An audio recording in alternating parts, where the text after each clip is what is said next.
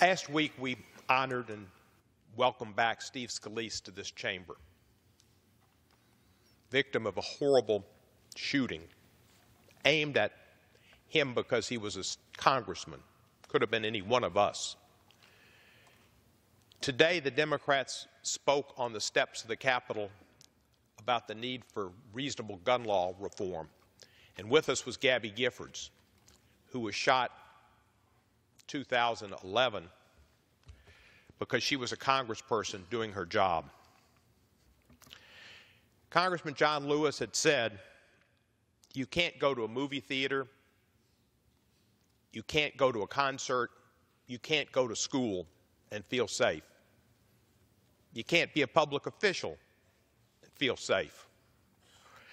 What happened in Las Vegas were 58 people were murdered and over 500 injured calls on the United States Congress to take action to protect the American people. This is the time to act for reasonable common sense gun reform laws. The former Deputy Prime Minister of Australia, Fischer, who in 1996, after the greatest mass shooting in Australian history, led an effort to reform the Australian laws sent a missive to President Trump suggesting this is the time for him to act and to do something very important for American society. Said it can be done. In Australia, after that killing, they passed laws that made illegal automatic and semi automatic weapons. And they had a buyback program that bought back over 600,000 guns.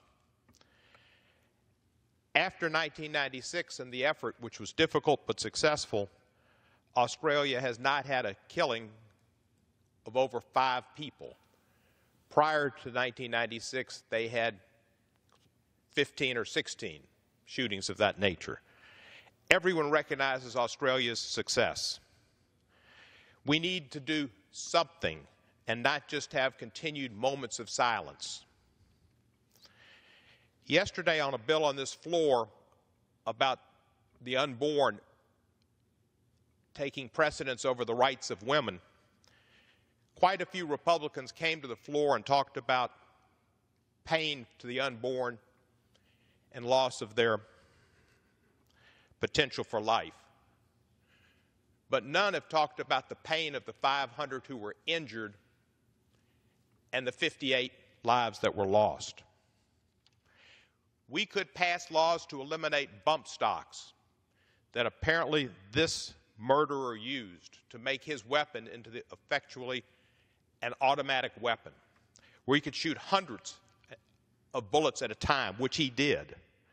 Bump stocks should be illegal, and Senator Dianne Feinstein had a bill to make them illegal in 2013, and she has one again. We need better background checks, and we need to make sure the mentally ill don't get guns. Unfortunately, in this Congress in February, the Congress passed a law that President Trump signed with passion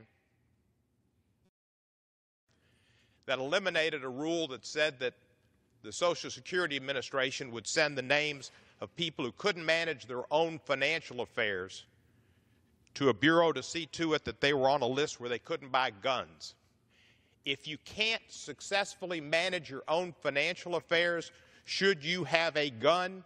I would submit not, but that bill was passed on a partisan vote and signed by the president, making it easier for people to get guns who the Social Security Administration has found cannot manage their own affairs. The same for the no fly, no buy list. If you're considered too much of a security threat to fly on an airplane, you shouldn't be able to buy a gun. The arguments we heard against that were about due process. Has anybody brought a bill to give the people on the no fly list due process? Has it come to the floor? No. And it won't because it makes sense to have a no fly list, and they also should be people that can't buy guns. We shouldn't have semi automatic weapons, certainly automatic weapons, which are illegal, but the bump stocks make regular weapons automatic weapons.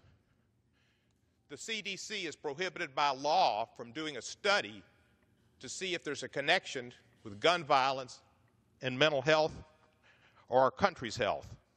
That law should be repealed. We shouldn't fear the CDC study. Gentleman's time has expired. High capacity magazines also shouldn't be permitted, and law enforcement should be protected from armor piercing bullets. I yield back the balance of my time and hope that we can act to save American lives.